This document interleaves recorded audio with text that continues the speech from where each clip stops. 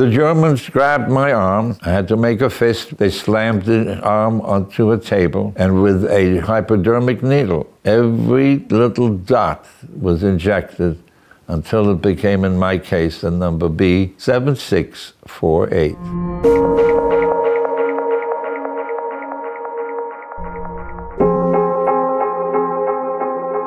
In the middle of the night, they kicked down the door. They were yelling and screaming. My mom and dad were at a loss.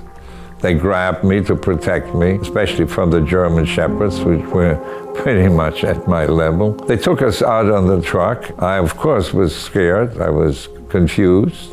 I had no way of doing anything to escape. We were taken off and we were greeted by people who had an emaciated, hollow look. They really moved like zombies. My father was forced to work repairing the electrified fences. My mother made iron plates that went under the military boots. I, miraculously, was given the chance to work in the agriculture department. The food ration that you received was a single loaf of bread a watery cabbage soup, intentionally non-nutritional. That was your total food for the week. As far as I was concerned, I had an escape mechanism from that level of starvation by stealing food as much as I could. The way I stole it was by putting holes in my pocket, let the seeds fall down to my ankles where the pant leg had been tightened up, I was able to pass inspection by being patted down. Had I been detected, I would have become what the Germans called Sunday's entertainment, the execution by hanging. One of the saddest moments in the ghetto was that when my dad came home, laid down since there was no furniture, and simply expired. The sidewalk would be littered by the corpses of those that had passed away the night before. And they had a wagon pulled by two or three people come and collect the corpses. That to me was more painful than seeing my dad give up his life or pass away. What will be done to him after he passed. When I went to work the next morning, I did see him laying naked, waiting to be picked up by this wagon, taking to a grave where already several people had been buried and plop, you fall down into a heap of bodies.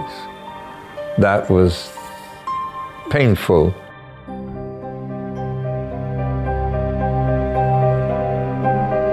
One Nazi dragged my mom away and he said, you belong over there on the other side.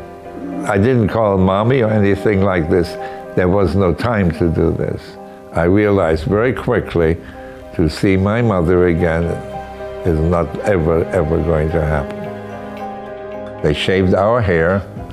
They pushed us through an archway and doused us with a painful liquid. We were washed for about 10 seconds, and I'm pushed against a large building with a huge smokestack and an enormous flame and a most obnoxious odor that we could not recognize.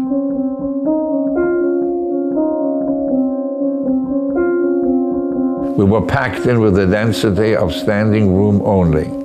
You could hardly move. We hear a noise and realize that looking up, two airplanes were circling the train. They had circular insignias, predominantly French fighter planes, and also accompanied by British fighter planes.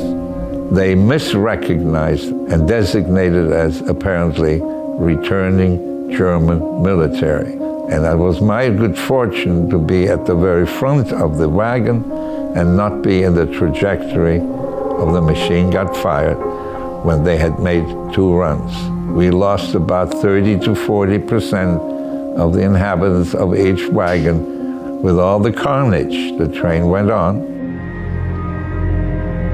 Those of us who could survive on a piece of bread and a bowl of soup simply hung in suicides into the electrified wires, finding maybe an excuse to be shot to end their life was not unusual. On Friday, April 11, at 3.15, we hear a very unfamiliar noise, a mechanical noise. I see a tank coming up. Being familiar with German insignia, I didn't see that. What I saw instead, of all things, was a white Star of David. The commander wore a uniform of the United States Third Army, headed by General George Patton.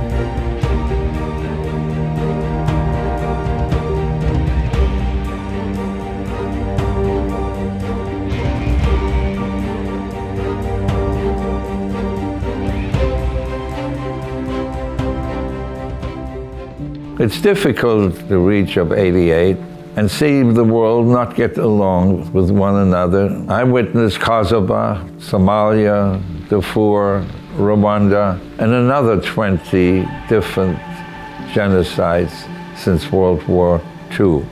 And one Sunday morning, seeing Mr. Trump ask the audience, the supposed supporter, to raise their hand and give an oath. Things like this are not very welcome to somebody who survived the Holocaust. Democracy, I believe, has a chance to be greatly diminished in our country. Are we actually going to build a fence around our country and make a ghetto out of the United States? Are we going to have 11 million people sent out and make refugees? I just simply cannot accept that America goes the way of Germany at one time.